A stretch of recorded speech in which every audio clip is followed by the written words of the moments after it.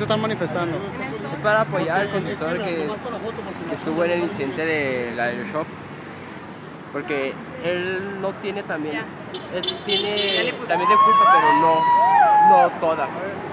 La logística de la seguridad estuvo totalmente mal.